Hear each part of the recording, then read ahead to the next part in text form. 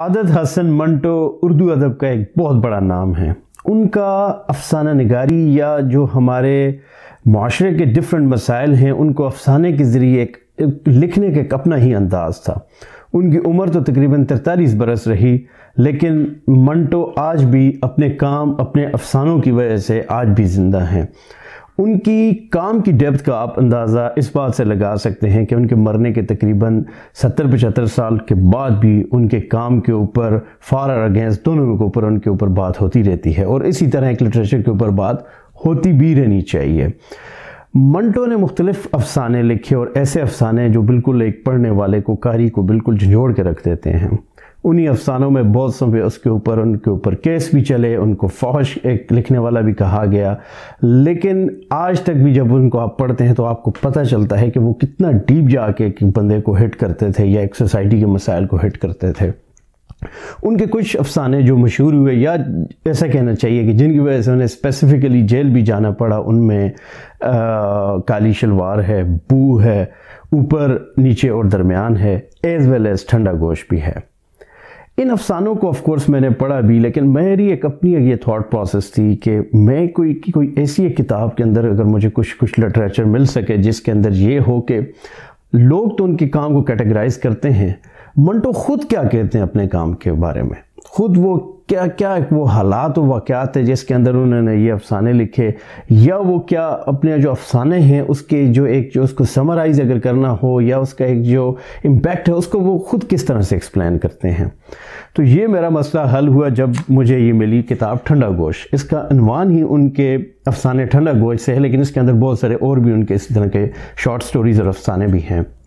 इसका जो पहला चैप्टर है, बुक का जहमत महर दरख्शां इसमें मंटो ने सारी की सारी कारगुजारी बयान की है कि वो कौन से, कैसे कॉन्टेक्स्ट था उस उस उस दौर के दौरान कि जिसमें उनका ये थॉट प्रोसेस इस तरह था कि उन्होंने ये स्टोरी लिखी या ये अफसाना लिखा ठंडा गोश्त। और उसके बाद जब उनको इस ठंडा गोश्त की पादाश में उनके ऊपर एक केस चला, उस पूरी की पूरी केस की प्रोसीडिंग एज वेल एज आखिर में उन्होंने एक पूरे पर्चा दिया जब जज ने ये कहा कि आप अपनी सफ़ाई में क्या कहना चाहते हैं? और उसमें उन्होंने पूरा एक एक एक्सप्लेन किया कि वो ठंडा गोश्त को किस तरह देखते हैं। ठंडा गोश्त की कहानी मंटो की जुबानी।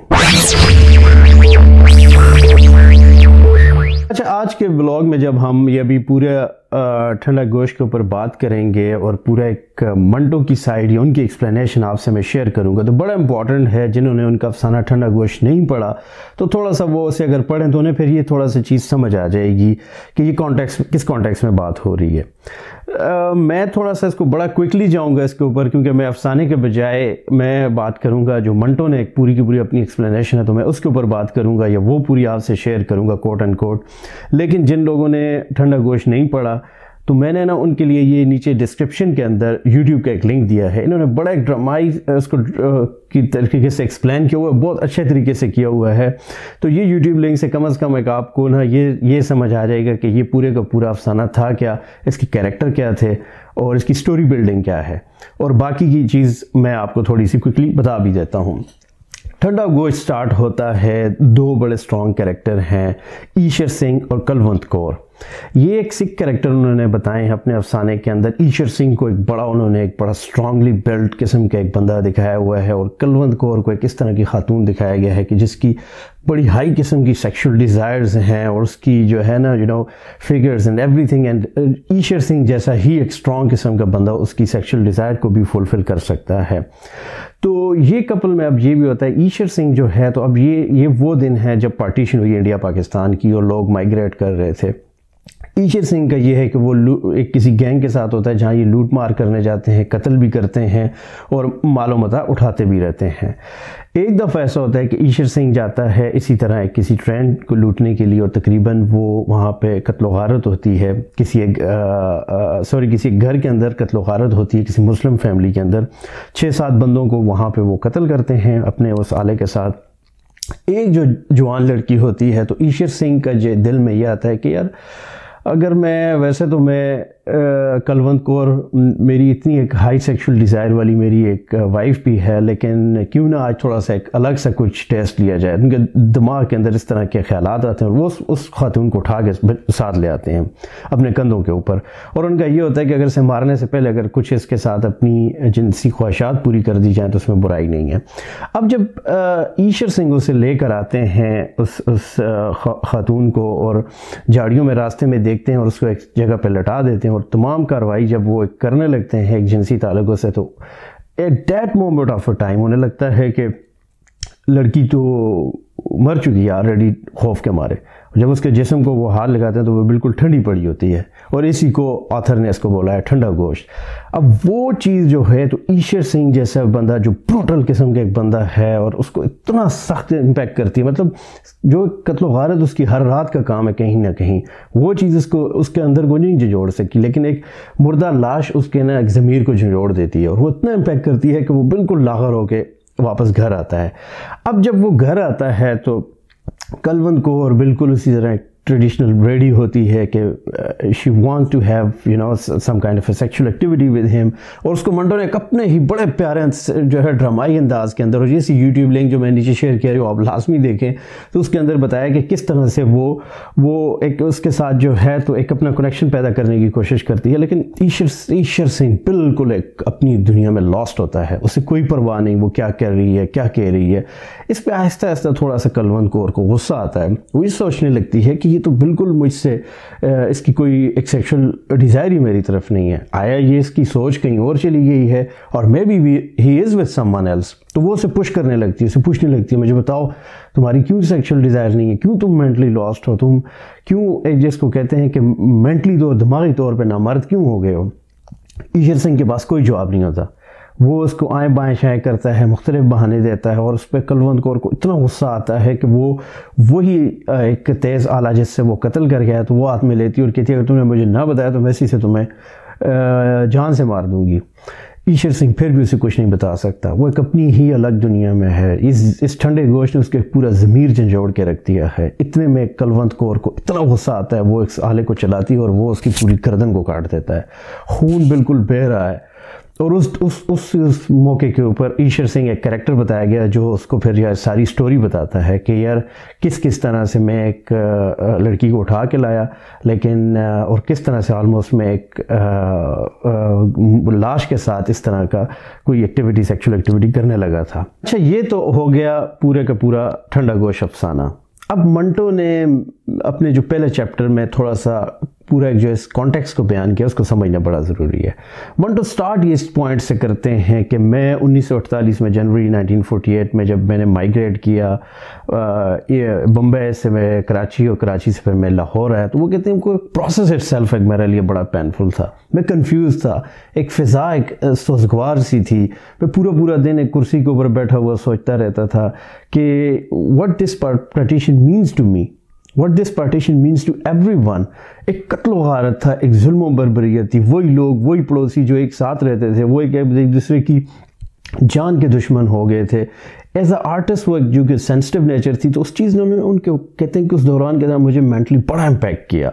फिर वो कहते हैं कि मज़ीद इसके ऊपर जो है तो ज़ख्मों पर नमक छिड़का, जब वो मुख्तलिफ़ ऐसे जगहों पर गए जहाँ से इमिग्रेंट्स जो इंडिया से आए हैं तो उनकी वो कहते हैं बहुत सारे ऐसे थे जो एक बड़े अच्छे लाइफ स्टाइल से थे, लेकिन यहाँ पर इस तरह के हालात थे कि ना उनके पास कुछ खाने को था और बिल्कुल एक ना बड़ी मुश्किल किस्म की ज़िंदगी गुजार रहे थे। साथ साथ क्योंकि वो एक माशरे को बड़े डिफरेंट एंगल से देखते थे तो वो कहते थे कि वो चीज़ भी मैंने देखी, जहाँ एक वो लोग हैं जो इमिग्रेंट इंडिया से यहाँ सब कुछ छोड़ कर आए हुए हैं और ऐसी ज़िंदगी गुजार रहे हैं। और बहुत से ऐसे लोग भी थे जो यहाँ के ऊपर मुख्तलिफ़ अदालतों के और मुख्तलिफ़ महकमों का चक्कर लगा रहे हैं, क्योंकि वो हिंदू जो यहाँ से माइग्रेट हो गए, उनकी जायदाद, उनका पैसा और यू नो अपने नाम पे करवाने या ट्रांसफ़र कराने के लिए लाइनों में लगे हुए थे। तो उन्होंने एक ना एक इतना बड़ा तजाद देखा और इस तजाद ने उन्हें बड़ा एक बड़ा इम्पैक्ट किया। और आई थिंक ये कॉन्टेक्स्ट को बताने की कोशिशें करते हैं कि वो जो ब्रूटल किस्म के एक उन्होंने इंसान का फेस देखा, या जो हमारे माशरे की उन्होंने बेहसी देखी उस टाइम के ऊपर उसने उन्हें एक मजबूर किया है नब्बे लिखने में ठंडा गोश्त भी। और ठंडा गोश्त उसी की अक्सी भी करता है। बताते हैं कि जब मैं एक दफ़ा ऑफ़ कोर्स मूव कर गया पाकिस्तान में तो अब अगला काम ये था कि कुछ करने को जी तो चाहता नहीं था लेकिन पैसे भी सारे ख़त्म हो गए और कुछ ना कुछ करना भी था क्योंकि उन्हें कुछ थोड़ा एक, एक अपने ऑफ़ कोर्स उनका शौक भी था पीने का भी साथ। तो वो कहते हैं उस सब के लिए मुझे कुछ ना कुछ तो लिखना था कहीं ना कहीं तो लिखना था। इर्द गिर्द कहते हैं मैं जब देखना शुरू किया तो उन्हीं दिनों ऑफ़ कोर्स उन्होंने थोड़ा सारा प्रोसेस तो एक्सप्लेन किया लेकिन लॉन्ग स्टोरी शॉर्ट एक जो रसाला था जावेद, उसके अंदर उन्होंने एक अपनी स्टोरी ठंडा गोश्त जो अपना अफसाना है, वो लिख के दिया। कहते हैं, मैं जब ये लिखा महीना तो सब सुकून रहा तो मैंने कहा, चलो ठीक है, किसी ने नोटिस नहीं किया, और स्टोरी चली गई है। क्योंकि मंटो के हर एक अफसाने को ना बड़ा क्रिटिकली देखा जाता था कि कहीं कोई फहश किस्म की इसके ऊपर कोई चीज़ तो उन्होंने नहीं लिखी है, या उसके ऊपर कोई प्रोसीडिंग तो नहीं हो सकती। एनी वेज महीने के बाद वो ये कहते हैं मुझे ये पता चला कि जी इस तरह के आ, हमारा तमाम का तमाम काम उठाया जा चुका है पुलिस छापे भी मार रही है। And then he came to know कि उन्हें पुलिस स्टेशन भी बुलाया गया और उनके इस काम के ऊपर एक केस चल गया। अब वो केस की तमाम प्रोसीडिंग हुई इसमें सारा उन्होंने एक्सप्लेन किया गया है कि किस किस तरह से मुख्तलिफ़ लोगों ने एक अपने अपने गवाहान पेश किए गए उन्होंने मुख्तलिफ़ कॉन्टेक्ट से देखा गया। मौलवी हजात थे उन्होंने कहा ये बिल्कुल एक फाहश है और बेरा रवि की तरफ़ यूथ को लगा रही है। बहुत सारे आर्टिस्ट और पढ़े लिखे लोग थे वो ये कहते थे ये जी माशरे को एक इसकी आप ना एसेंस को देखें। इसका एक, एक, एक जो इसका है ना उसको देखें कि ये मतलब एक मकसद इसका क्या है? चीज़ ये ना देखें कि वर्डिंग क्या यूज़ हुई है। ये देखें कि इसका बिगर पिक्चर में एक मकसद क्या है और क्या एक मैसेज क्या दे रही है। एनी जब ये सारी चीज़ें हुई तो आखिर में अदालत ने जज ने मंटो को कहा कि आप अपनी सफ़ाई में अगर हमें कुछ लिख के दें। मंटो ने अपनी सफ़ाई कैसे दी? वो मैं कोट अन कोट इस किताब से आपके लिए पढ़ता भी रहूँगा। मंटो का तहरीर बयान कुछ यूँ है। मैं अफसाना ठंडा गोश महानामा जावेद लाहौर का मुसनफ़ हूँ, जो इस्तगासे के नज़दीक उरिया और फहश है। मुझे इससे इख्तलाफ है, ये अफसाना किसी भी नुक़ नज़र से ऐसा नहीं है। फहाशी के मतलब बहुत कुछ कहा जा चुका है और कहा जा सकता है, मगर ये एक तयशुदा अमर है कि अदब हरगिज़ हरगिज़ फहश नहीं हो सकता। अफसाना ठंडा गोश को अगर अदब के दायरे से बाहर कर दिया जाए तो उसके फहश होने या ना होने का सवाल पैदा हो सकता है। मगर ये अफसाना एक अदीब की तसनीफ़ है, जो अदब जदीद में काफ़ी अहमियत रखता है। ठंडा गोश के स्टैंडर्ड के बारे में कहा सुना जा सकता है। ये कहा जा सकता है, ये अफसाना मेरे दूसरे अफसानों के पाए का नहीं, ये काम अदबी नकादों का है और इन्हें इस बात का हक है कि वो ये जांचें, परखें मगर इस अफसाने पर किसी सूरत में भी कभी फहाशी का इल्ज़ाम नहीं लगाया जा सकता। इसलिए कि मुसनफ़ की तरफ़ से अफसानी अदब में अच्छा बुरा जैसा भी है, ये एक इसाफा है। लेकिन इस सूरत में कि मुझे अपनी पोजीशन साफ़ करना है, आइए इस अफसाने को अच्छी तरह जांचें कि इसमें फहाशी का कोई पहलू निकलता है या नहीं।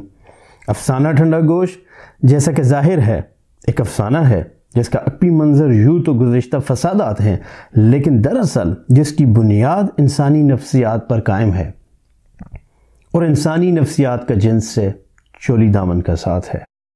बात यहाँ काबिल गौर है कि कत्लो गारत ने और लूट मार ने ईश्वर सिंह पर कोई असर नहीं किया था।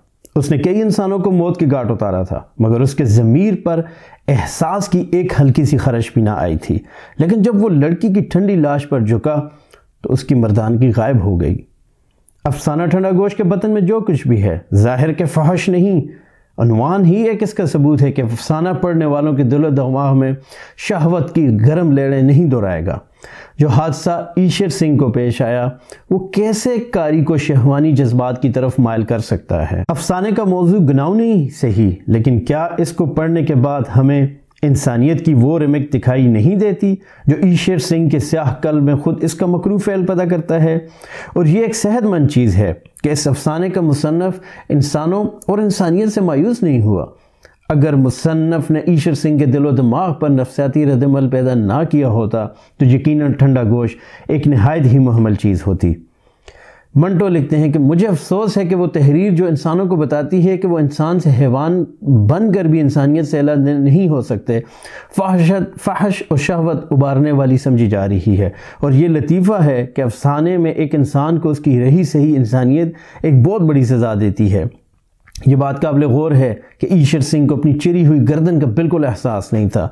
उसको आखिरी सांस तक सिर्फ़ एक ही बात सताती रही कि वो एक ठंडी लाश से जना करने वाला था। तहरीर और तकरीर में, शेर व शायरी में, संगसाजी और सनम तराशी में फहाशी तलाश करने के लिए सबसे पहले उसकी तरगीब टटोलनी चाहिए।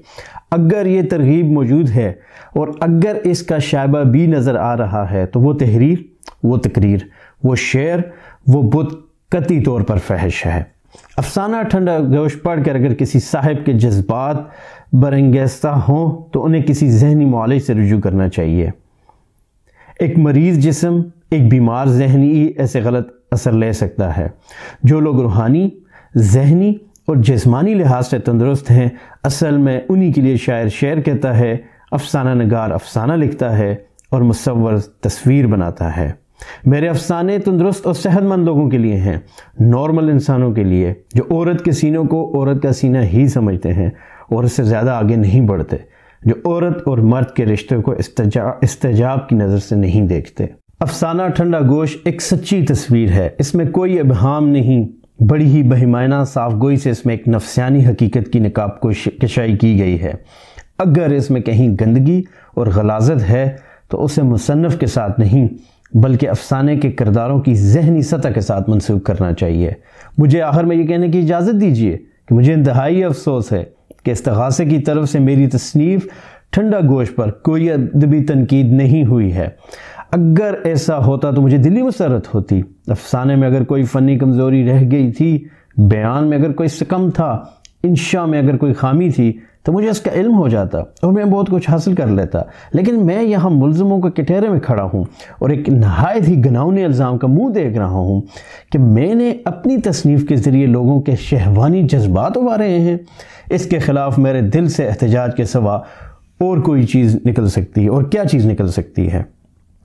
हैरत है कि ठंडा गोश्त पढ़कर कारी का जहन, खौफ और नफ़रत में मनफूफ होने के बजाय शहवत से मुलवस कैसे हो सकता है? और भी हैरत है कि ईश्वर सिंह को जो होलनाक सज़ा मिली, वो पढ़ने वाले के दिलो दिमाग में शहवानी जज्बात कैसे पैदा कर सकता है? ये सारी की सारी एक अपनी सफ़ाई में मंटो लिख के अदालत के अंदर पेश करते हैं कि वो, ये कोट एंड कोट उनके सारे वर्ड्स हैं कि वो ठंडा गोश्त को कैसे देखते हैं। और वो ये बताने की कोशिश भी करते हैं कि अगर उसका बिगर पिक्चर में मैसेज दिया को समझने की कोशिश की जाए तो वो एक हमारी इंसानियत को झंझोड़ने के लिए है रादर कि उसको ना शहवानी जज्बात उबारने की उस उसमें नज़र से देखा जाए। बहरहाल अदालत ने सारी की सारे उनकी तहरीर भी ली और सारी चीज़ें ली और जज ने कुछ फ़ैसला यूँ लिखा उनके ख़िलाफ़। कहानी बानवान ठंडा गोश गौर से पढ़ने के बाद मुझे इत्मीनान हो गया है कि इसमें कारीन का अखलाक बिगाड़ने का मैलान मौजूद है। और ये हमारे मुल्क के मुरवजा अखलाकी मैारों की खिलाफ वर्जी करता है। इसलिए मैं मुलजिम सादत हसन मंटो को एक फहश तहरीर पेश करने का ज़िम्मेदार ठहराता हूँ और उसे ज़ेर दफ़ा two nine two P P C तीन माह के कैद बामशक्क़त और तीन सौ रुपये जुर्माने की सज़ा देता हूँ। अदम अदायगी जुर्माने की सूरत में उसको मज़ीद इक्कीस योम की सज़ा भुगतनी पड़ेगी। Thank you very much for watching